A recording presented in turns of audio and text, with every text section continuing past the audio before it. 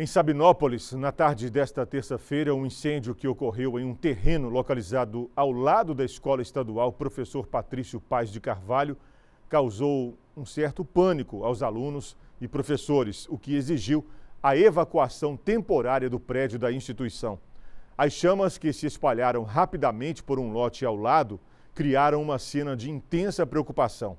Tanto alunos quanto professores testemunharam fogo atingindo a vegetação. Devido ao risco iminente e à densa fumaça que se espalhou pelo local, a direção da escola tomou a decisão de sair garantindo a segurança de todos.